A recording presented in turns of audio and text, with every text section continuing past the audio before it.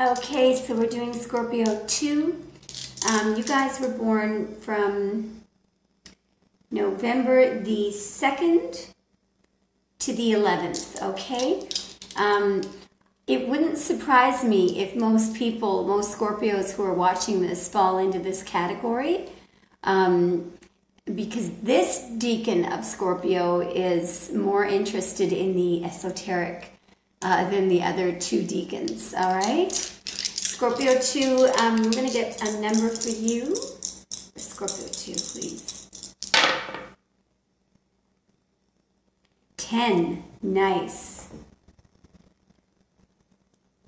Another 10.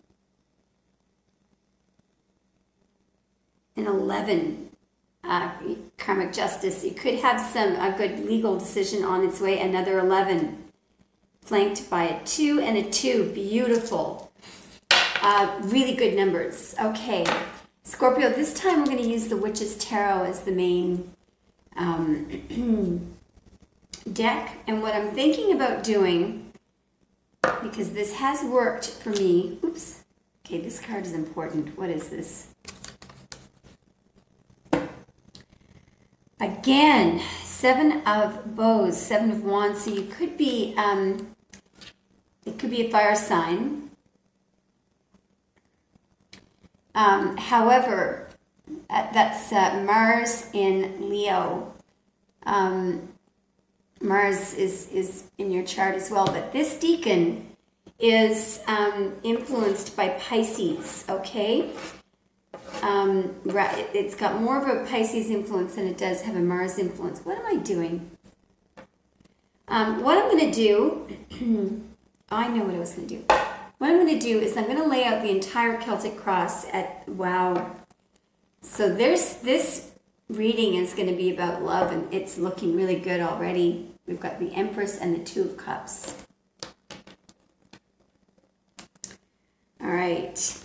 I'm going to lay out the entire Celtic cross um, when I feel that we're ready, all right?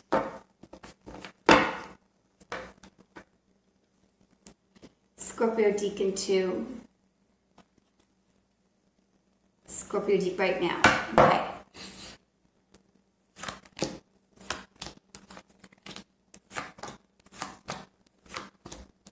One, two, three, four.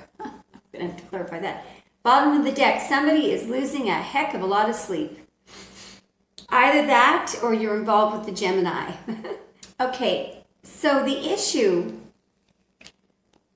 is the Page of Pentacles. Um, a, I mean, I'm seeing some Earth in this. Um, I'm seeing three Earth cards here. All right.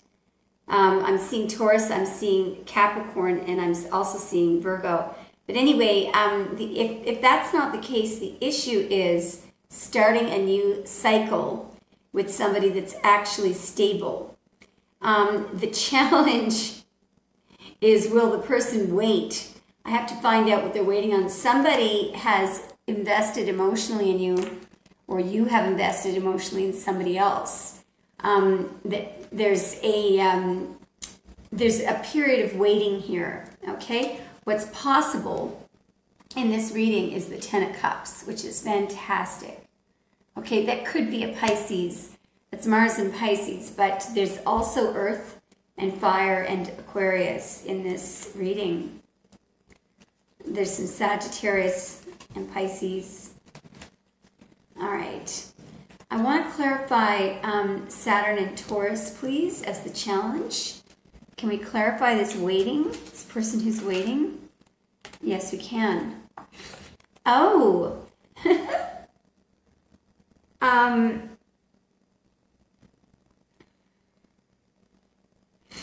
I feel like you're waiting for something to come to light. You could be waiting on a Leo, or a Leo could be waiting on you. I'm going to get one more clarification card um, for that person who's waiting and the sun.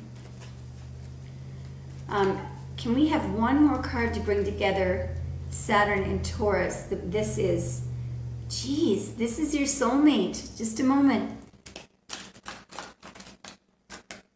yeah, this could be about a Capricorn, Scorpio. Um, or you could be waiting for the other half um, of information that you need. Okay. Um, in the recent past, there was a sudden change, a sudden good change. I'm going to clarify that card. That's the Wheel of Fortune. Why is the Wheel of Fortune in the recent past? I feel like, yeah, um, look, this has, I believe this has to do with the Sag because the Wheel of Fortune is related to Sag and Pisces. But then we have the um, Page of Wands so I feel like what you realized um, in the past, someone that you thought was going to walk away didn't. They came back um, and they're up for it. Okay, they have passion for you. Um, the subconscious energy is that of turning something down in haste. Uh, it's Moon and Cancer. Can we clarify Moon and Cancer, please, as the subconscious? Sorry, Scorpio. We're clarifying uh, Moon and Cancer as the subconscious energy. What is this doing here? Yeah, so this could have to do with an Aquarius. Um, it's somebody who kind of snuck off, okay, um, in haste. I'm just going to get another card for this. Yeah, now they want to come back and apologize. This could be a Pisces or an Aquarius. Um, okay, so can we clarify the Ten of Cups up there? Can we clarify the Ten of Cups crowning your reading, please? Can we clarify the Ten of Cups crowning Scorpio?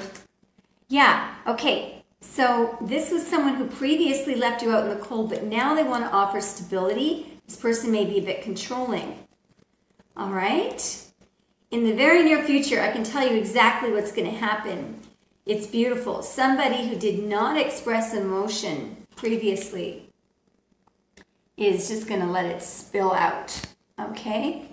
Um, and, and there's another ace, um, you know, as the um, as the tool. This is coming in. This is coming in. The outside forces again is a very, very, very stable card. This is the second time I've seen the Emperor in your reading. Okay, um, so an Aries could be involved, or it's ultimate stability, and it's someone. It's a no frills king. Okay, um, you're fearing being stabbed in the back um, you're fearing the, I don't know, uh, you either want the end of a toxic cycle or you're fearing uh, betrayal. now, there could be an Aquarius as your outcome. I need to clarify the Five of Swords as the outcome here. Can we clarify the Five of Swords as the outcome for Scorpio 2? This could be Sagittarius. I'm seeing the King of Wands again. Um, oh, okay. That is related to the outcome, whatever just fell to the floor. Yeah, okay, so what's happened could also be Capricorn. Somebody has been going back and forth, back and forth, back and forth, okay? They may have been juggling you. I'm going to get something from Wildwood, all right? And then I'm going to get something from the um, from the Witch's Tarot. Can we clarify the Five of Swords and the Two of Pence is the outcome, please? What is this person ultimately going to do?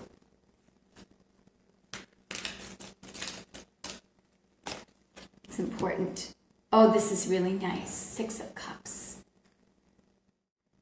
So I'll tell you why this is an incredibly beautiful outcome so basically, somebody that you thought was engaging in trickery, they might have been sneaking off, they might have been juggling you and someone else. Um, there is going to be, this is your soulmate, and there's going to be a reunion between you guys. This is the Six of Vessels. It's also known as the Six of Cups. It is also your card. The, the card of the second decan of Scorpio is the Six of Cups, and there it is. I am going to be brave enough to check the bottoms of the decks. Can't believe this. Unbelievable. Victory. Six of Wands. Shall we be brave and check the bottom of the other deck? I'm going to be brave. Hopefully I won't ruin the reading. What is it? Ooh, is this four of bows, four of wands? This is stability. Scorpio 2. This is a beautiful reading. I don't know if it's with another Scorpio, an Aquarius, a Capricorn, a Pisces, or a Sag. Um, it just lo- looks incredible. It could also be with an Aries. Um, but I think you'll be able to figure it out by um, just listening in. That was a really nice, quick, simple reading with a very, very, very, um, a very uh, clean um, storyline. Would you like to know who your lifelong spirit guide is? Gonna. Sometimes it doesn't work. Can we have?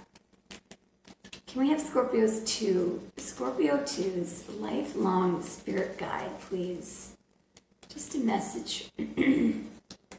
Find these cards hard to shuffle, but I'm going to try. What did they have to say? Okay, here, there they are.